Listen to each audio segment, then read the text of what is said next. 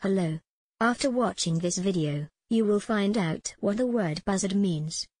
Diurnal bird of prey belonging to the Accipitridae family. The common European short-winged hawk. Common in South and Central America and southern United States. Common in South America and Central America and southern United States. A New World vulture that is common in South America and Central America and the southern United States.